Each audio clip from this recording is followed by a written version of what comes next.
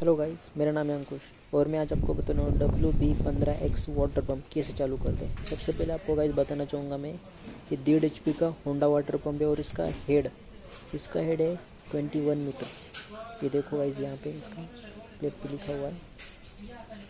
और discharge seventy five litre per minute करता है। तो गाइज़ आपको सबसे पहले आपको बताना चाहूँगा, आपको सबसे पहले इसके अंदर ऑयल फिलअप करना पड़ेगा।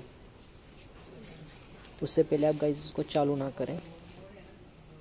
साढ़े तीन सौ से चार सौ मिली ऑयल लगता है इसको।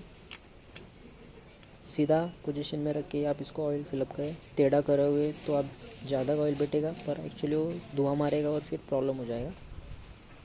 तो फिर अच्छे से कैप लगाइए और फिर आपको मैं बताना चाहूँगा, आप ऑयल फिलअप करने के बाद पेट्रोल डालने के बाद, उसके बाद तुरंत आपको उसके पम्प के हंडी में आपको पानी डालना पड़ेगा कम से कम वन लीटर पानी आपको गाइज़ एक्चुअली डालना ही पड़ेगा। एक्चुअली ये सेल्फ प्राइम पंप है। इसका फुटबॉल कुछ भरना नहीं पड़ता है। खाली हंडी भरनी पड़ती है। पर बिना हंडी में पानी डाल लिए आप इसको नहीं चलाए, नहीं तो इसका वाटर सेल जल सकता है।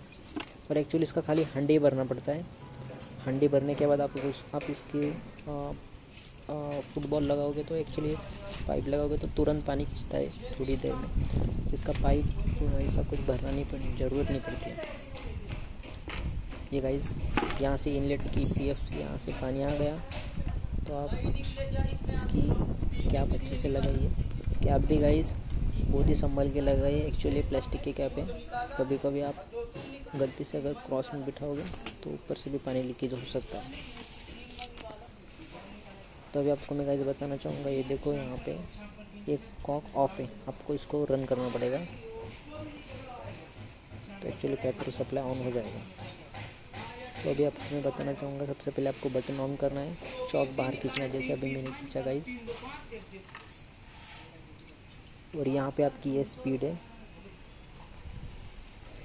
यहाँ पे फुल है और यहाँ पे स्लो है।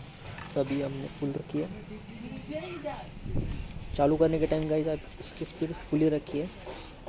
तो बाद में आप आपको जिस तरह से एडजस्ट करना है उस तरह से आप स्लो या फास्ट कर सकते हो। तो अभी हम इसको चालू करते हैं।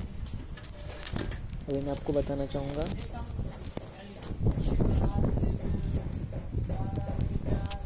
यहाँ पे हमने एक्चुअली बटन ऑन किया है। ये देखो, हमने बटन ये ऑन किया है। अभी ये चौक भी बाहर खींचा है। अभी हम रस्सी खींचने वाले हैं। रस्सी खींचते समय गाइज़ आपको ध्यान देना पड़ेगा।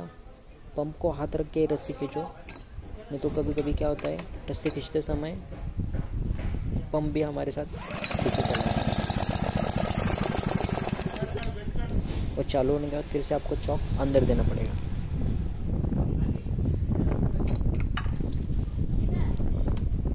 अभी हमने चालू किया पंप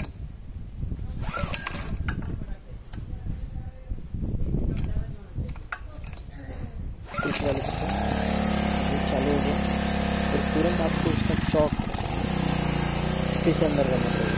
देखो वाइट यहाँ पे चौक फिर से अंदर करना कभी कभी क्या होता है जल्द जाते हैं चौक अंदर करना भूल जाते हैं और पेट्रोल भी ज़्यादा। खींचता है तो प्लग भी शॉर्ट हो जाता है कभी कभी तो चालू नहीं होता अब मैं गाइड आपको बताना चाहूँगा, हम डायरेक्टली पंप को चेक कर सकते हैं, बिना पानी या बिना पाइप लगाए।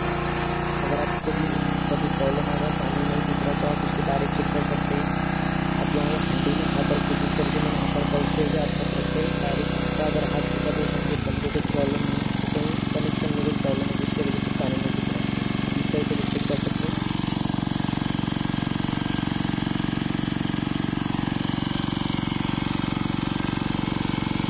तो पे गाड़ी से बंद करने के लिए। बटन ऑफ़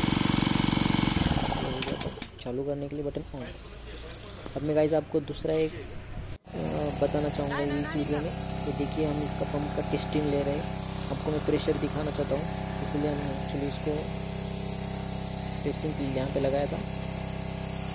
तो ये देखो गाइज़ हमने एक्चुअली एक पाइप से हम इसका प्रेशर आपको दिखाते हैं। बहुत ही अच्छा प्रेशर है। गाड़ी वॉशिंग के लिए भी आप यूज़ कर सकते हो, पर एक्चुअली ये खेती के लिए या फिर कंस्ट्रक्शन साइट के लिए आप अच्छे से यूज़ कर सकते हैं। और गाइज़ अगर आपको ये मेरा वीडियो अच्छा लगे तो please share subscribe my channel अगली वीडियो में जल्दी आपको मैं अपलोड करता रहूँगा।